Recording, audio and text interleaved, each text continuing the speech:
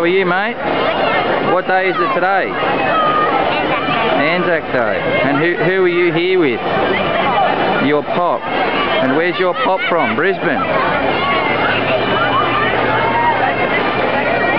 We're from the grey